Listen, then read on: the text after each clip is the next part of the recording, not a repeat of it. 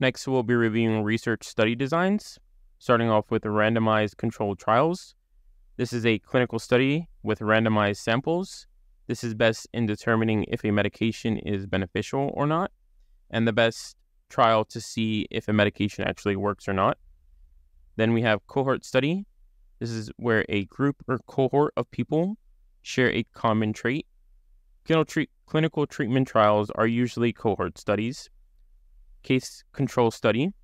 This is where you look back on cases that already had outcomes and compare their risk factors to people who did not have that outcome. Cross sectional study. This checks the presence of a disease or event at only one point in time. Crossover study, a paired group where they take control, then they cross over to the experimental. So, an example of this is the controlled group, and then they they take a placebo or whatever it is, and then they would then cross over to the experimental side, which is in this case could be taking a new medication or a new treatment. So when reviewing research of these study designs, you could see here that the quality of information matters.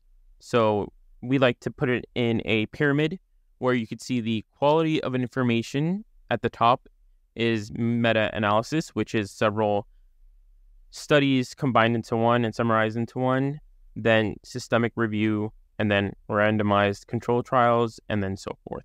So you could see here on the NAPLEX if you're given which of these study designs is the most reliable, then you could use the meta-analysis. That would be the answer. Or systemic review. It would just depend on the answer choices. Intent to treat analysis versus per protocol analysis. The intent to treat analysis this collects data from everyone, regardless if they had dropped out of the study or not.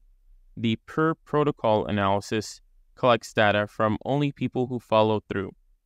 So the difference between these is intent to treat, they are going to use data from everyone who joined the study, while in the per protocol analysis, they only collect the data from participants who followed the directions thoroughly.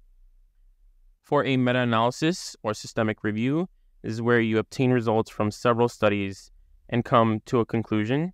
It is objective and quantitative.